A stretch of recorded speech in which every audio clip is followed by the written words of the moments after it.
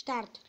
Čus bus, vítam vás u dnešného videa Červená čiapočka Ani- anglickej rozprávky. Môj kamoš vám niečo povie o tom. No takže dneska, ja som Tiki Bomba a dneska si môžete pozrieť na kanál Herba, Herbice TV um, rozprávku anglickú. Herbice Studio, prepačte, um, rozprávku Červená karkulka s anglickým dubom a keď dáte um, proste no, e, v budúcom dieli natočíme po slovensky, ale nie o Červenú kalku, karkulku, ale inú rozprávku, tak, um, tak môžete sledovať.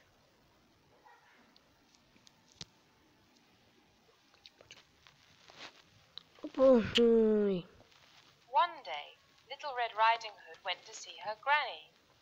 She had a nice cake in her basket.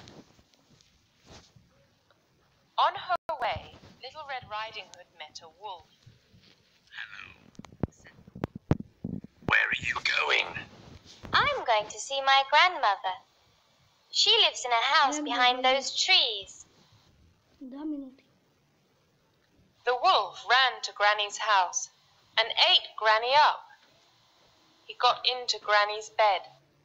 A little later, Little Red Riding Hood reached the house. She looked at the wolf. Granny! What big eyes you have!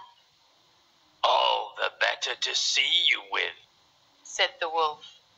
Granny! What big ears you have! All the better to hear you with. said the wolf. Granny! What a big nose you have!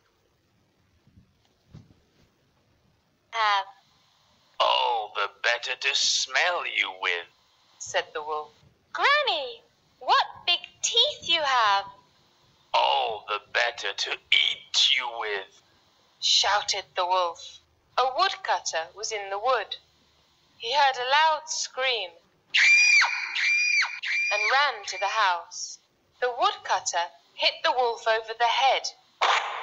The wolf opened his mouth wide and shouted, Oh, and Granny jumped out.